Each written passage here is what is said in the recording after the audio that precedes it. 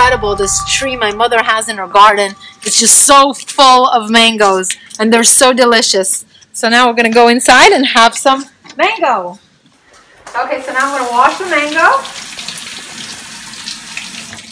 because the best part is actually also eating it with the peel. I'm gonna take a knife here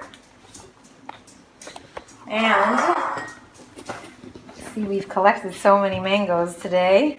This is just such an incredible fruit. And then we slice it up like this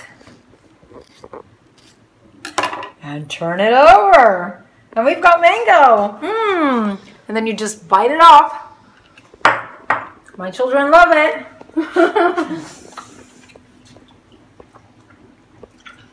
and it's so full of nutrients. This is great for summer. It's just a great fruit.